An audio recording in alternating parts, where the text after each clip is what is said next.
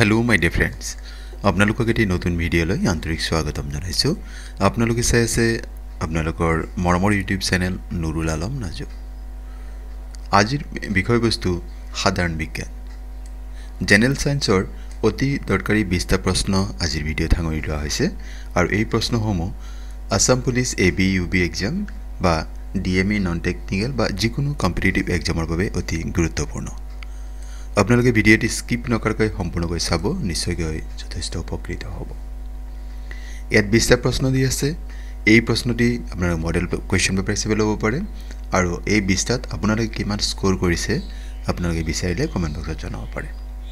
আহকচোন বাৰু আজিৰ বিষয়বস্তু বিধানকৈ জানি লওঁ।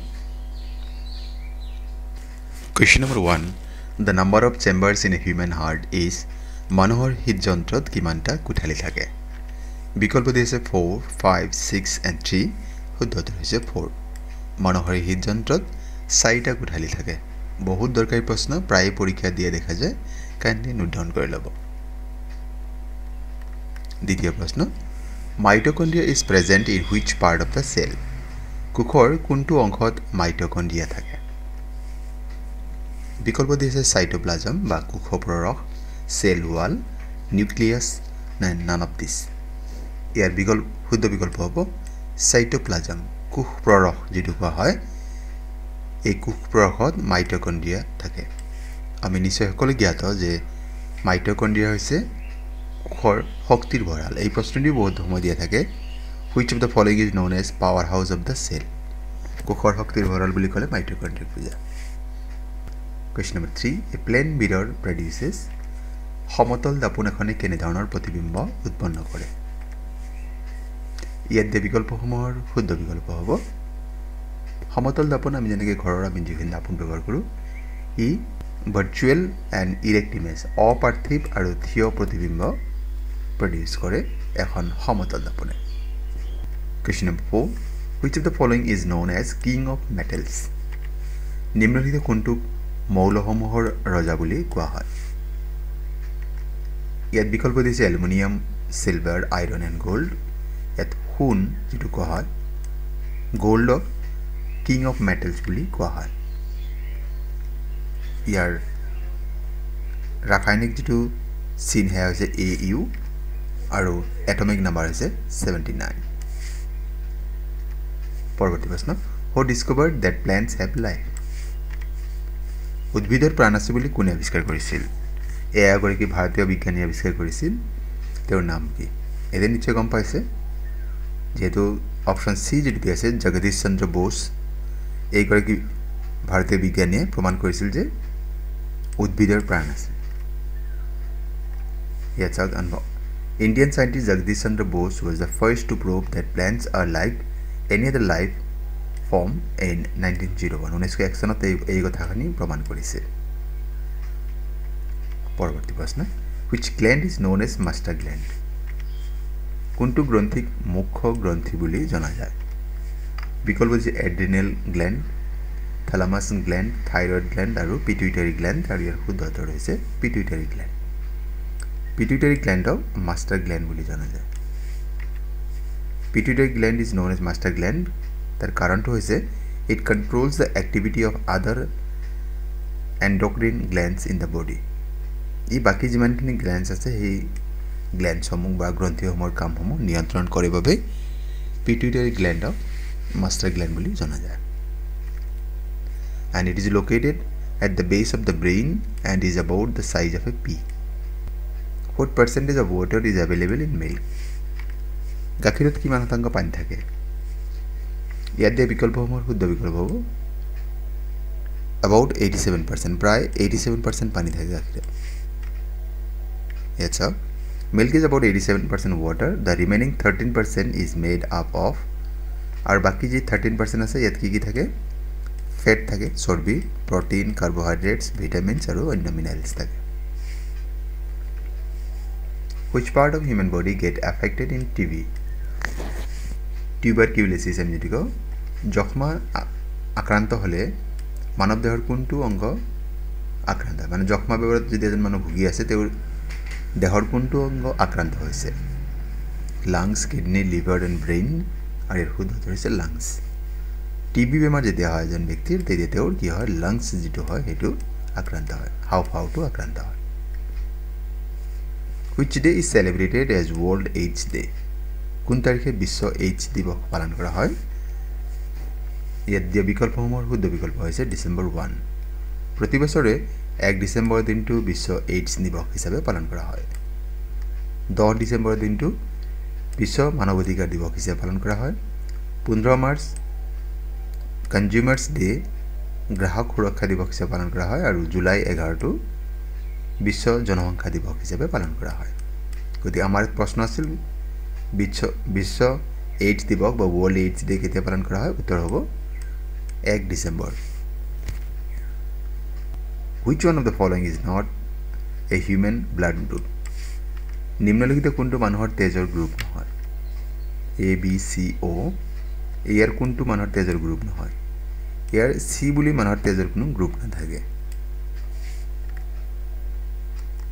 ইয়াত চাওক there are eight main of blood types আঠ ধৰণৰ blood টাইপছে A positive A negative B positive B negative O' positive O' O' negative A B positive আৰু এ বি নেগেটিভ এই আঠটা মুড মানে মানুহৰ তেজৰ গ্ৰুপ আছে। Blood groups are discovered by Karl Landsteiner আপোনাক প্ৰশ্ন দিব পাৰে যে ব্লাড গ্ৰুপ এই যে ব্লাড গ্ৰুপ আমি ক'লোঁ এইটো কোনে আৱিষ্কাৰ কৰিছিল? Karl Landsteiner blood group O' can donate red blood cells to anybody আৰু যিহেতু অ' ব্লাড গ্ৰুপৰ হয় তেওঁলোকে যিকোনো মানুহক তেজ দিব পাৰে। And it is the universal donor সেইকাৰণে কোৱা হয় অ' ব্লাড গ্ৰুপক কোৱা হয় ইউনিভাৰ্চেল ডনৰ সাৰ্বজনীন তেজ দি থোৱা বুলি ক'ব পাৰি। গতিকে এই প্ৰশ্নটি দিব পাৰে বহুত দৰকাৰী প্ৰশ্ন হয়। Next which of the following is a non renewable resource নিম্নলিখিত কোনটো অনবীকৰণ সম্পদৰ উদাহৰণ হয়? চ'লাৰ এনাৰ্জি বা সৌৰশক্তি পেট্ৰলিয়াম ৱাটাৰ এণ্ড উইণ্ড ইয়াৰে পেট্ৰলিয়াম হৈছে নন ৰিনিউৱেবল চ'ৰ্চ মানে অনবীকৰণ ইয়াৰ নবীকৰণ নহয় এতিয়া নবীকৰণ বা অনবীকৰণ মানে কি বুজি পায় আমি এবাৰ জানি লওঁ ইয়াত চাওক ৰিনিউৱেবল মানে these resources are renewed or replenished by nature যিবিলাক সম্পদ ব্যৱহাৰ কৰাৰ পিছত পুনৰ আকৌ প্ৰকৃতিয়ে সেয়া উৎপাদন কৰে। In a short span of time বা সি অতি কম সময়তে, অলপ সময়তে পুনৰ উৎপাদিত হয়। নন ৰিনিউৱেবল যেনেকৈ পেট্ৰলিয়ামৰ কথা কৈছোঁ these resources may not be replenished by nature or take very long geological time to be formed again আৰু এইবিলাক কি হয়? উৎপন্ন হওঁতে প্ৰকৃতিয়ে বহু দীঘলীয়া সময় লয় বা কিছুমান কি নহয় আকৌ ৰিনিউ নহয়। অন্য এটা পাৰ্থক্য চাওক often these are available continuously like solar energy water এছে এয়াৰ এচেট্ৰা এইবিলাক যেনেকৈ সৌৰশক্তি পানী বতাহ এইবিলাক নিচে সদায় এইবিলাক উপলব্ধ হয় এইবিলাক পোৱা যায়। And these resources are exhausted after use এই সম্পদসমূহ কি হয়? ব্যৱহাৰৰ পিছত ই শেষ হৈ যায়। যেনেকৈ ফচিল ফুৱেল যিখিনি জীৱাশ্ম ইন্ধন আছে এইবিলাক কি হয়? এবাৰ ব্যৱহাৰৰ পিছত শেষ হৈ যায়। গতিকে এইখিনি আছে ৰিনিউৱেবল আৰু নন ৰিনিউৱেবল গতিকে আপোনাক কেতিয়াবা দিব পাৰে যে চ'লাৰ এনাৰ্জি কি হয়? ৰিনিউৱেবল নে নন ৰিনিউৱেবল ই ৰিনিউৱেবল হয়। ৱাটাৰ এয়াৰ এইবিলাক কি হয়? ৰিনিউৱেবল হয়। ফচিল ফুৱেল যেনেকৈ পেট্ৰল ডিজেল কেৰাচিন এইবিলাক কি হয়? বা কয়লা এইবিলাক হৈছে আপোনাৰ নন ৰিনিউৱেবল ৰিচোৰ্চ হয়। নিশ্চয় এইখিনি আপোনাৰ বুজি পোৱাত অলপ অসুবিধা হোৱা নাই। Leaves are green in colour because of the presence of কিহৰ উপস্থিতিৰ বাবে গছৰ পাতৰ বৰণ সেউজীয়া হয়? বিকল্প দিছে হিমগ্ল'বিন, জাইলম, ফ্লু, ক্ল'ৰফিল এণ্ড ফ্লুৱেম।